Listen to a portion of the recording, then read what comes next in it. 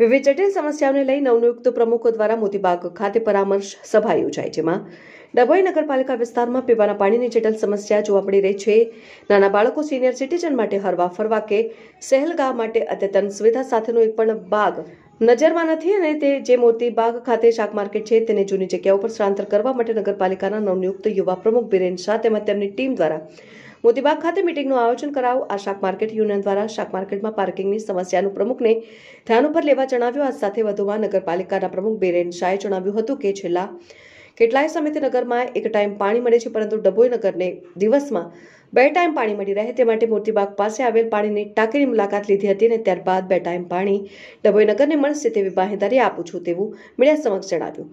સાથે મોતીબાગનું બ્યુટિફિકેશન કરવા હેતુ માર્કેટને તેના જૂના સ્થળ ખાતે લઈ જવાનું જણાવ્યું. સાથે માર્કેટમાં દસ રૂપિયાની પાવતીનું ભાડું વસૂલવાનું હતું.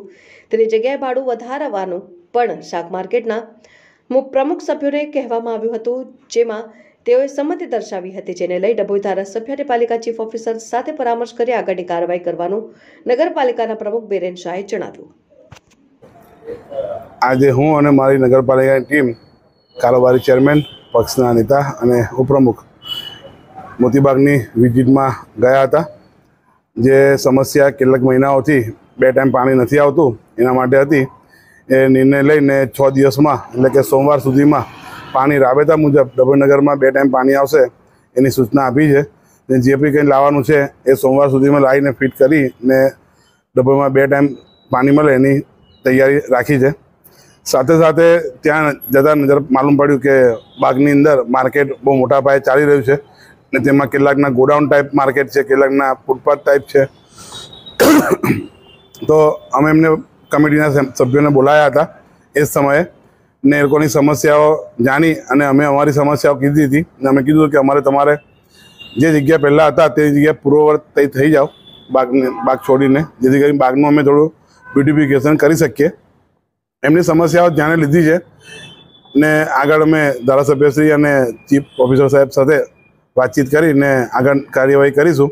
પણ અમે એ વાતથી બંધાયેલા છે કે બાગ અમારે સત્વરે ખાલી કરાવો ને રાબેતા મુજબ જે પહેલાં માર્કેટ હતું, ત્યાં આગળ એમને જગ્યા ફાળવવી એવી અમે સૂચના ધારથી આપ- આપેલી છે મેં એમને. ને ફરી એમને સપોર્ટ કીધો બી છે. સાથે સાથે ભાડા વધારાનું બી કીધું છે, દસ રૂપિયાની પાવતી જે રોજની ફાળે છે, એ ભાડા માટે બી મેં એમને કીધું છે કે નગરપાલિકાની આવક નથી, અને દસ રૂપિયાનું ભાડું તમારું યોગ્ય ના કહેવાય. એટલે ભાડા વધારા માટે બી મેં વાત કરી છે. ને એ લોકોએ સંમતિ બતાવી છે. હું સાહેબ સાથે પરામર્શ કરીશ ધારાસભ્યશ્રી જોડે, અને પછી આગળ ડિસિઝન અમે લઈશું.